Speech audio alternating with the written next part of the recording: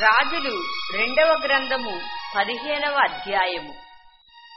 ఇస్రాయేలు రాజైన యెరోబాము ఏలుబడిలో ఇరవై మూడవ సంవత్సరమందు యువదారాజైన అమధ్యా కుమారుడైన అజర్యా ఏలనారంభించెను అతడు పొదునారేండ్లవాడై ఏలనారంభించి ఎరుషులేమునందు యాభై రెండు సంవత్సరములు రాజుగా ఉండెను. అతని తల్లి ఎరుషులేము కాపురస్తురాలైన యొకల్యా ఇతడు తన తండ్రి అయిన అమధ్యా చర్య అంతటి ప్రకారము యహోవా దృష్టికి నీతి గలవాడై ప్రవర్తించెను. ఉన్నత స్థలములను మాత్రము కొట్టివేయలేదు. ఉన్నత స్థలముల యందు జనులు ఇంకను బలులను అర్పించుచు దోపము వేయిచూ ఉండిరి. యహోవా ఈ రాజును ముత్తినందున అతడు మరణమగు వరకు కుష్ఠురోగి అయి ప్రత్యేకముగా ఒక నగరులో నివసించెను గనుక రాజకుమారుడైన యోతాము నగరు మీద అధికారి అయి దేశపు జనులకు న్యాయము తీర్చువాడుగా ఉండెను. అదర్యా చేసిన ఇతర కార్యములను గూర్చియు అతడు చేసిన దానిని అంతటినీ గూర్చియు యోధారాజుల వృత్తాంతముల గ్రంథమందు వ్రాయబడి ఉన్నది. అజర్యా తన పితరులతో కూడా నిద్రించి దావిదుపురములో తన పితరుల సమాధియందు పాతి పెట్టబడగా అతని కుమారుడైన యోతాం అతనికి మారుగా రాజాయెను యోధారాజైన అజర్యా ఏలుబడిలో ముప్పది ఎనిమిదవ సంవత్సరమందు ఇరోబాము కుమారుడైన జకరియా షొమ్రోనులో ఇస్రాయేలు వారిని ఆరు నెలలు ఏలెను. అయితడు ఇస్రాయేలు వారు పాపము చేయుటకు కారకుడగు నెబాతు కుమారుడైన ఇరోబాము చేసిన పాపములను విడువక అనుసరించుచు తన పితరులు చేసినట్లుగా తానును యహోవా దృష్టికి చెడుతనము జరిగించెను. యాబేషు కుమారుడైన షల్లూము అతని మీద కుట్ర చేసి జనులు చూచుచుండగా అతని మీద పడి అతనిని చంపి అతనికి మారుగా రాజాయను. జకరియా చేసిన కార్యములను గూర్చి ఇస్రాయేలు రాజుల వృత్తాంతముల గ్రంథమందు రాయబడి ఉన్నది. నీ కుమారులు నాలుగవ తరము వరకు ఇస్రాయేల్ సింహాసనము మీద ఆసీనులై ఉందురని యుహోవా యహూతో సెలవిచ్చిన మాట చొప్పున ఇది జరిగెను. యోధారాజైన ఉజ్జియా ఎలుబడిలో ముప్పది తొమ్మిదవ సంవత్సరమందు యాభేషు కుమారుడైన షల్లూము ఏలనారంభించి షుమ్రోన్లో నెల దినములు ఏలెను. గాదీ కుమారుడైన మెనహేము తెరసాలో నుండి బయలుదేరి షొమ్రోనునకు వచ్చి షొమ్రోనులో ఉండు యాబేషు కుమారుడైన షొల్లూము మీద పడి అతన్ని చంపి అతనికి మారుగా రాజాయెను. షొల్లూము చేసిన ఇతర కార్యములను గూర్చియు అతడు చేసిన కుట్రను గూర్చియు ఇస్రాయేలు రాజుల వృత్తాంతముల గ్రంథమందు వ్రాయబడి ఉన్నది. మెనహేము రాగా తెప్సహు పట్టణపు వారు తమ గుమ్మమును తీయలేదు కనుక అతడు వారిని అందరినీ హతము చేసి తిరసాను దాని చేరువ గ్రామములన్నిటినీ కొల్లపెట్టి అచ్చట గర్భిణులందరి గర్భములను చింపెను. యోధారాజైన అజర్యా ఏలుబడిలో ముప్పది తొమ్మిదవ సంవత్సరమందు గాదీ కుమారుడైన మెనహేము ఇస్రాయేలు వారిని ఏలనారంభించి షొమ్రోనులో పది సంవత్సరములు ఏలెను. ఇతడును తన దినములన్నీయు ఇస్రాయేలు వారు పాపము చేయుటకు కారకుడగు. నెవాతు కుమారుడైన యురోబాము చేసిన పాపములను విడువక అనుసరించుచు యహోవా దృష్టికి చెడుతనము జరిగించెను. అశూరు రాజైన పూలు దేశము మీదికి రాగా మెనహేము తనకు రాజ్యము స్థిరపరచునట్లుగా పూలు చేత సంధి చేయించుకొనవలెనని రెండు వేల మణుగుల వెండి పూలునకు ఇచ్చెను.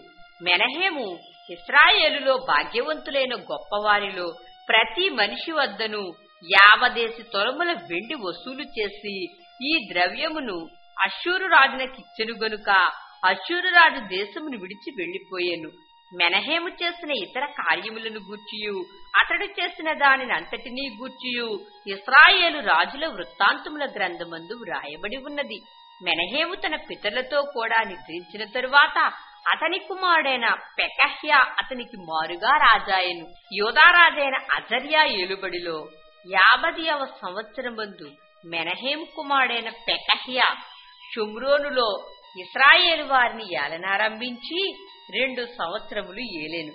ఇతడును ఇస్రాయేలు వారు పాపము చేయుటకు కారకుడగు నెబాతు కుమారుడైన యురోబాము చేసిన పాపములను విడువక అనుసరించుచు యుహోవా దృష్టికి చెడుతనము జరిగించెను. ఇతని క్రింద అధిపతియు రెమల్యా కుమారుడునైన పెకహు కుట్ర చేసి తన యొద్దనున్న గిలాదీయులైన యాభది మందితోనూ అర్గోబుతోనూ అరిహేనుతోనూ కలుసుకుని షుమ్రోన్లో ఉన్న రాజనగరులోని అంతఃపురమందు అతనిని చంపి పెకహ్యా కుమారుగా రాజాయను. పెకహ్యా చేసిన ఇతర కార్యములను గూర్చియు అతడు చేసిన దానిని అంతటినీ గుర్చియు ఇస్రాయేలు రాజుల వృత్తాంతముల గ్రంథమందు వ్రాయబడి ఉన్నది. యోధారాజైన అజర్యా ఏలుబడిలో యాభై రెండవ సంవత్సరమందు రెమల్యా కుమారుడైన పెకహు షుమ్రోనులో ఇస్రాయేలును ఏలనారంభించి ఇరువది సంవత్సరములు ఏలెను. ఇతడును ఇస్రాయేలు వారు పాపము చేయుటకు కారకుడగు నెబాతు కుమారుడైన ఎరోబాము చేసిన పాపములను విడువక అనుసరించుచు యుహోవా దృష్టికి చెడుతనము జరిగించెను. ఇస్రాయేలు రాజైన పెకహు దినములలో అశూరు రాజైన తెగ్లత్ పిలేసేరు వచ్చి ఇయోను పట్టణమును అబేల్మత్మయాక పట్టణమును యానోయహు పట్టణమును కెదెషు పట్టణమును అసోరు పట్టణమును గిలాదు దేశమును గలిలయ దేశమును నఫ్తాలి దేశం అంతయును పట్టుకొని అచ్చట ఉన్న వారిని అశూరు దేశములకు చెరగా తీసుకుని పోయెను.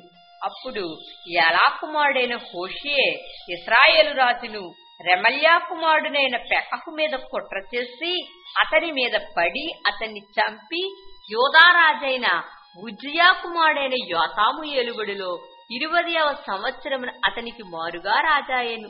పెకహు చేసిన ఇతర కార్యములను గూర్చియు అతడు చేసిన దానిని అంతటినీ గూర్చియు. ఇస్రాయేలు రాజుల వృత్తాంతముల గ్రంథమందు రాయబడి ఉన్నది. ఇస్రాయేలు రాజును రెమల్యా కుమారుడైన పెకపు ఏలుబడిలో రెండవ సంవత్సరమున యోధారాజైన బుజ్జియా కుమారుడు యోతాము ఏలనారంభించెను అతడు ఇరువది ఐదేండ్లవాడై ఎరుషలేమునందు రాజై పదినారు సంవత్సరములు ఏలేను. అతని తల్లి సాదోకు కుమార్తె అయిన ఎరూషా ఇతడు యహోవా దృష్టికి నీతిగా ప్రవర్తించి తన తండ్రి అయిన ఉజ్జియా చర్యను పూర్తిగా అనుసరించెను. అయినను ఉన్నత స్థలములను కొట్టివేయకుండెను. జనులు ఉన్నత స్థలములందు ఇంకను బలులను అర్పించుచు దూపము వేయిచు ఉండిరి. ఇతడు యహోవా మందిరమునకున్న ఎత్తైన ద్వారమును కట్టించెను. యోతాము చేసిన ఇతర కార్యములను గూర్చియు. అతడు చేసిన దానిని అంతటినీ గూర్చియు. యూదారాజుల వృత్తాంతముల గ్రంథమందు వ్రాయబడి ఉన్నది. ఆ దినములలో యహోవా సిరియారాజైన రెజీనును రెమల్యా కుమారుడైన పెకహును యోధాదేశము మీదికి పంపనారంభించెను.